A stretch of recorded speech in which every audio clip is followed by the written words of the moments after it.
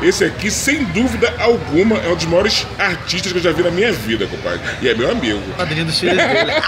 valeu, Sérgio!